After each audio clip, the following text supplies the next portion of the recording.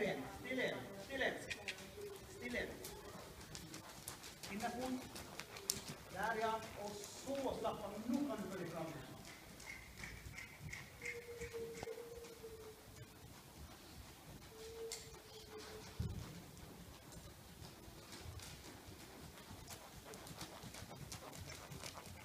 Bra. Samler opp.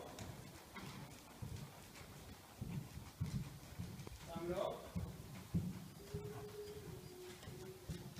Høyre side er ikke låst. Kom an. Den er litt sånn stiv til sida. Prøv å få den med nå. Gjør det der. Gjør det fram igjen.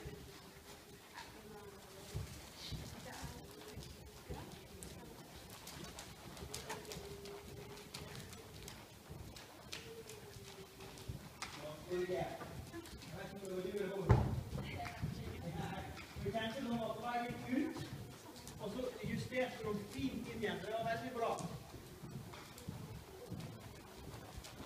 Hvordan kjennes den ut nå? Bra. Og veldig fin å se på. Når hun slipper taket sånn du gjør det, det er veldig viktig at du er helt tett i helt kontrollerbar med beina, og så sitter du oppå, og så kjenner du med beina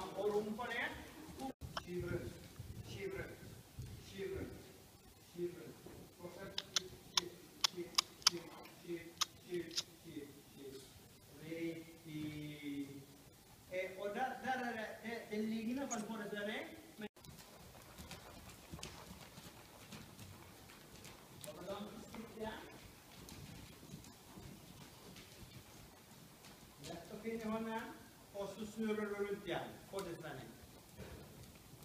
Skyt, skyt.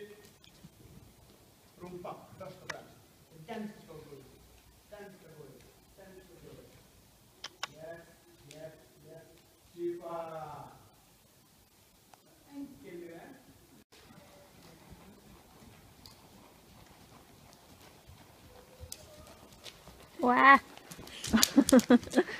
Wow.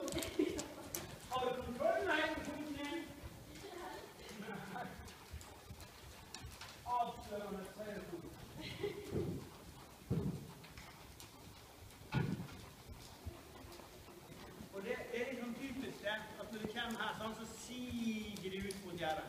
Og da er det veldig viktig å ha kontroll på det.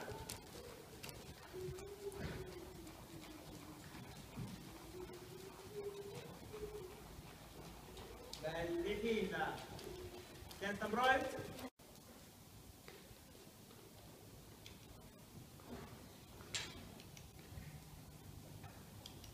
Ja, framover, framover, framover, framover, framover. Framover. En gang til. Sitt fram. Skyv, skyv. Skyv, skyv. Sitt, sitt, sitt. Ikke dra, ikke dra, ikke for sterk hånda. Ikke sterk hånda. Tenk på til dette knikken mye mer enn styrken. Bare knikk. Ah.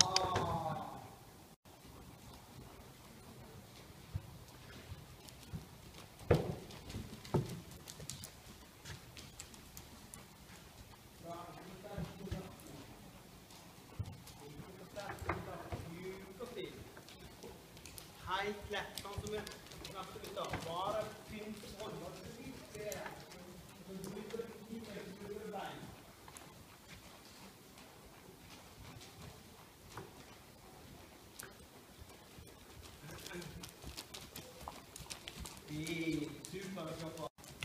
Flott. Kjenner nå med høyre foten din hvor du har den hen. Høyre skjenkelen din på.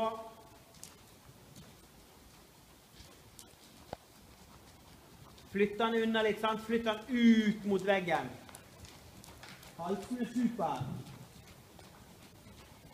Baktre lange. Tramp i hælen din. Tramp, tramp, tramp, tramp i hælen. Husk på at det er ikke nødvendigvis hælen som skal treffe hesten. Leggen kan treffe han òg. Neste gang kommer du ned på stormålet her nede igjen.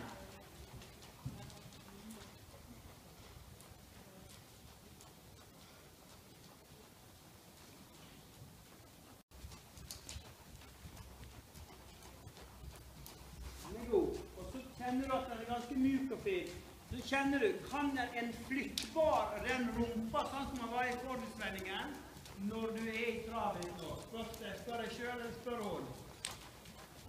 Og hvis du trykker til med beina dine, og den bare drar på framover, så har ikke den svart rett. Sånn at du må kunne lede inn, gjøre på en måte en, en type fordelsvending her. Han skal svare fra høyre foten din. Der, ja. Og så fatter du galoppen din nå. Og så, og så sjekker du igjen. At du kan lede inn og flytte rumpa ut. Ja, nå. Og så blir du mjuk i kontakten. Ser du at han stivner av i høyre side se? Han blir veldig sånn stiv på innsida, er du enig? Og da må du tenke still inn her. og så Husker du hva vi gjorde med den innertøyen din? Vi leder til høyre. Ta på stigbøyen igjen. Stopp litt. Sånn som nå. Led inn. Lede. Bra. Og så helt mjuk fin. Det er du er ingen god ting. Ny fatning og du klar.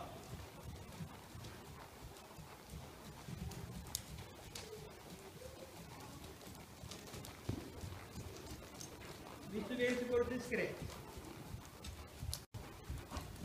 Og så leder du med det samme. Led, ikke hold. Si til ham, sving her den veien. Den her veien. Den her veien. Der kom hånda opp. Nydelig. Der ble hånden din. Kjempebra. Gjør ingenting. Kjempebra hånd. Oppe der er ikke du så fast. Fin. Sving. Bare drar av gårde, så går han opp og ned. Og det er fordi den er sterkere denne veien, og du klarer bedre å få det til. Så det her er superfint. Enda Ja, riktig. Det er det jeg vil etter. Enda litt rettere foran. Enda litt der trykke med utvendig foten din. Ikke tippe framover. Og så prøv å nyte litt, og så sett deg tilbake, og så bare sitter vi der. Lett i hånden, og bare sitt der.